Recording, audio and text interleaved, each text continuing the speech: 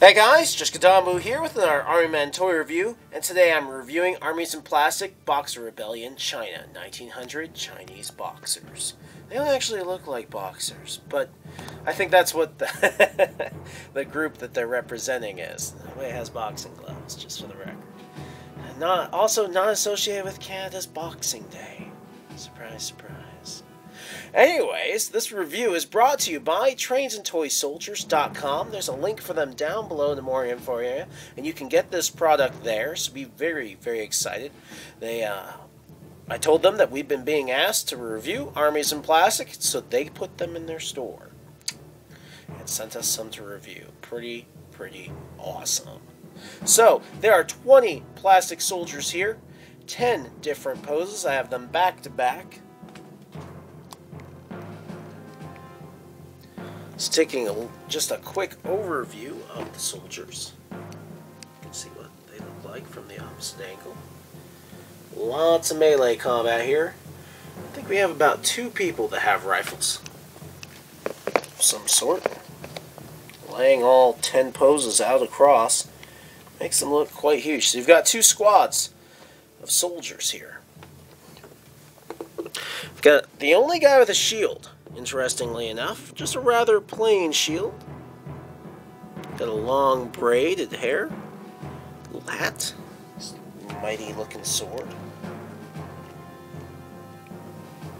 Swinging, defending, etc. Possibly fighting, well, they're on the same side, but you know, maybe they're just practicing. Another guy here. Also has a long braid. So these are keeping with their time periods.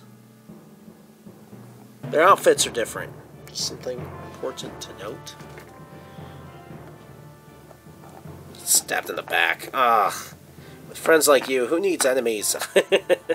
what did you do? It was an accident. Oh, that was an accident too. He got this huge trident above his head. Outfit is also just a little bit different like that. trying to bring up three at a time to review. Show off more details. Got another guy running with the trident, but as you'll notice, this one has a different kind of head. It's got a head wrap there, running forwards. This brings new me meaning to the words "do not run with scissors." So, so shoot your eye out. Something along those lines. Alright, we're to charge at each other at the same speed. We're to try and hit our weapons together do that cool anime thing where there's an electrical burst that pushes us apart. Oh, oh, oh, oh, I'm sorry, man. It was an accident. this one has just a little bit of blue powder on him. Probably run him under water and uh, it would all come off. That's my guess. These aren't overloaded with detail but they do have very nice detail. I guess I should talk about their flexibility. So they're really strong plastic, really going to last well. They feel a lot like, you know, different plastics have different feels. It feels kind of like the same plastic or similar plastic in quality to the Tim Mee Toy Soldiers brand. Just some of your best out there for uh, standard plastic toy soldiers. This guy was a little smart. He's walking with a large stabbing weapon. Marching, perhaps. But he brought a knife to a gunfight. So this probably isn't going to go very well. See, both had the long hair.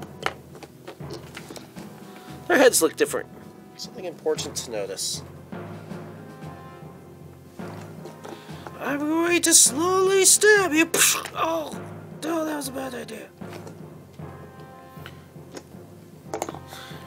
Aha! You have forgotten your sword! Oh.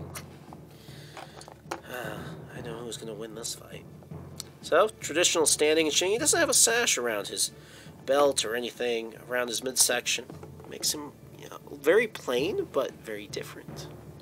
This guy looks very important, like a commander or something.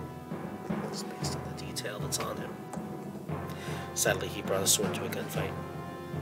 And our last guy, also taking a lesson about running with scissors, slowly marching forwards with what kind of looks like a sword, with a really long stick, which eh, more or less is just a, uh, a spear. But if you were to like trim this down, if you just wanted to make a variation, you could be like, cut that. And there you have the sword. Yes! He's got a different hat than all of the others. His own unique hat makes him special. Reminds me of the old Firefly quote, You know if a man goes outside wearing a hat like that, he ain't afraid of nobody. Quite nice soldiers. Really, really cool. I like reviewing stuff from other periods because they look so different. You get some nice variety. So, Boxer Rebellion, China, 1900, Chinese boxers. As you can see, none of them are wearing boxing gloves. Surprise, surprise. and I know that. I'm just making a fun joke. Well, I hope you enjoyed the review. Make sure to like, favorite, and subscribe as I will post a new toy review just about every other day. And I post a new Army toy just about every Friday. And make sure to check out our sponsor, TrainStoySoldiers.com. There's a link for them down below in the more info area just beneath this video.